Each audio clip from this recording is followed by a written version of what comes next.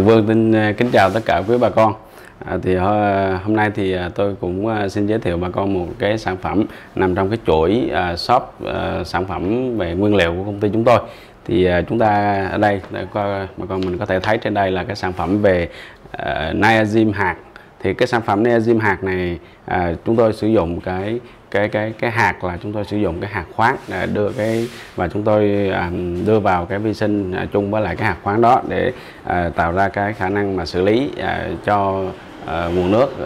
ao nuôi của chúng ta. À, chúng tôi lựa chọn cái cách xử lý là từ à, đáy ao và vì đây là cái sản phẩm à, dạng hạt nên chúng tôi cũng muốn mà mong muốn là chúng tôi lựa chọn được những cái à, cái dạng vi sinh à, mang được cái tính năng là nó sẽ đa dạng hóa trong rất là nhiều cái môi trường đặc biệt là trong những cái môi trường về về về về thiếu khí. À, thì nó sẽ xử lý à, đáy ở cái mức độ là à, tốt hơn rất là nhiều. À, chính vì vậy thì à, cái cái sản phẩm này thì khi chúng ta à, áp dụng thì chúng ta có thể có một số cái à, lưu ý như thế này. Là ví dụ như khi chúng ta áp dụng trong quá trình nuôi bình thường thì một à, một ký đến một ký rưỡi cho một à, ngàn khối nước. Và đối với những cái ao chúng ta xử lý những cái trường hợp mà nó bị ô nhiễm nặng ví dụ nước của chúng ta nước của ao tôm nó bị à,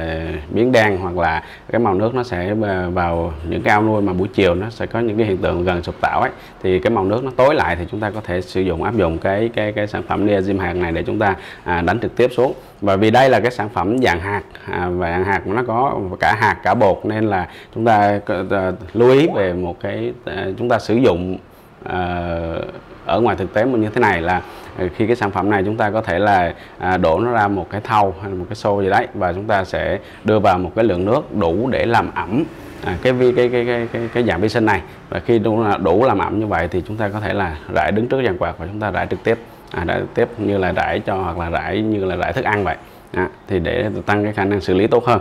À, và đây thì à, tôi cũng à, cho bằng con mình thấy được là cái cái cái cái cái cái cái vi sinh hạt nó như thế này Đấy.